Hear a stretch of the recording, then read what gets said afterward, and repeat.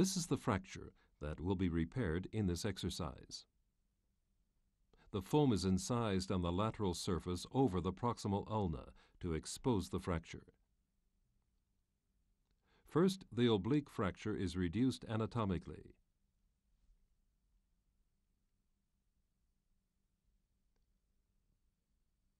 Then the fracture line is compressed with 2.7 millimeter lag screws.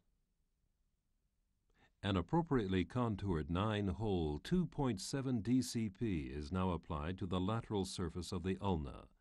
Most of the plate holes are filled with neutral screws.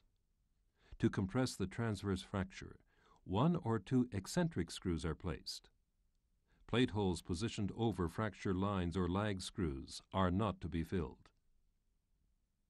The articular surface is checked to confirm that anatomic reduction has been achieved.